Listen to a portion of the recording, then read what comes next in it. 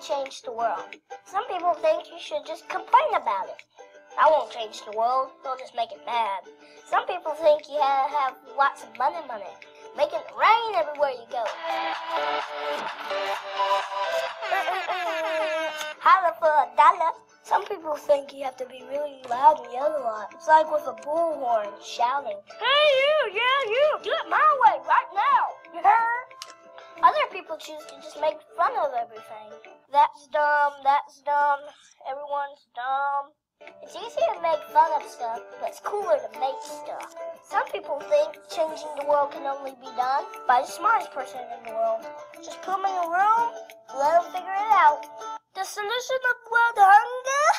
Food. Wow, that was like so amazing. Some people see the bad in the world and they just decide to ignore it. But that won't help anything. Some people think you have to be really famous and super cool.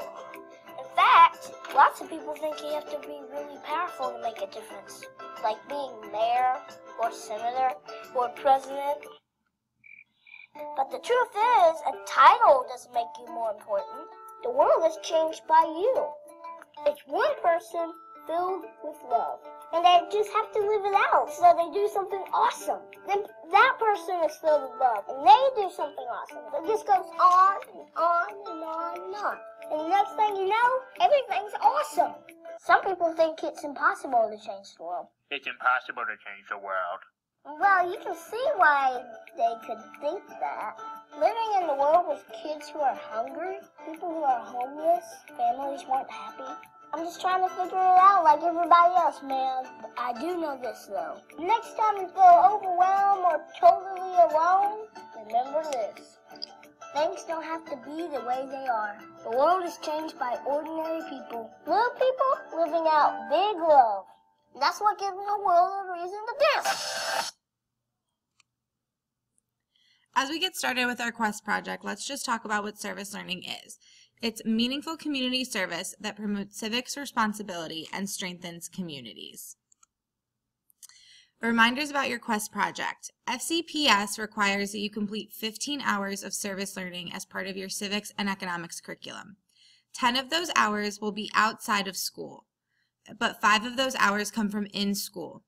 Part of those come from your research paper, which was worth 20 points that you turned into civics.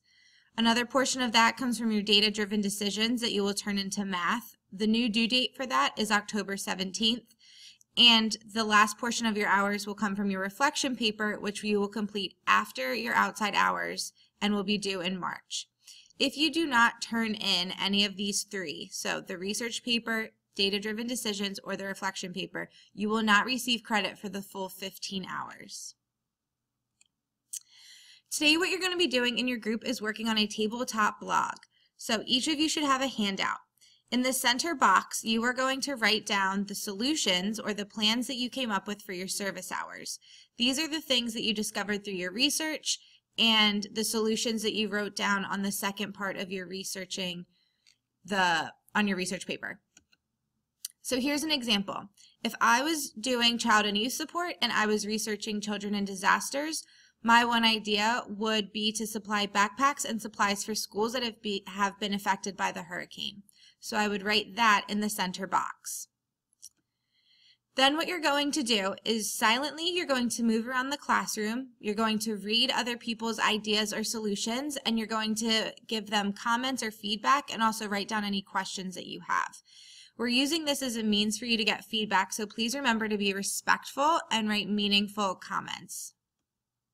So again, here's my example. So as you as a student circled around, you could write some feedback, such as how many backpacks will you need? What kind of supplies are you looking for? What hurricane are you going to try to help? Where will you collect the items? So you can write your own comments and then you can also comment on the comments of other people. So for example, someone could write do what kind of supplies do they need? Do they think need things like pencils or markers or books or computer? And then someone could also write ideas about where you could collect the items.